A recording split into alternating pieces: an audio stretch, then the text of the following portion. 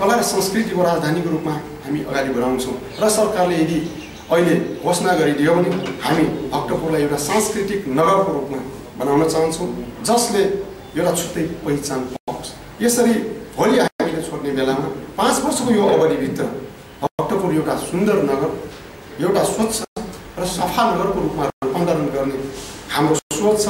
मलाई लाग्छ भक्तपुरका जनताले हामीले दिएका वचनहरू हरेक आएको हुँदा त्यसको विश्वासले पनि धेरै मत दिएर हामीलाई जिताउनु भएको हो। सबै सेक्टरमा शिक्षा स्वास्थ्य खेलकुद अनि हाम्रो कृषि लगायतको क्षेत्रमा चाहिँ यो हामी एउटा विज्ञहरूको टोली बनाएर उहाँहरूको सुझाव अनुसार चल्ने हामीले प्रतिबद्धता व्यक्त गरेका छौँ। यो अनुसार मलाई लाग्छ मध्य प्रदेशलाई चाहिँ हामी समृद्धिको बाटोमा डोर्याउनको लागि हामी सफल हुन्छ भनेर।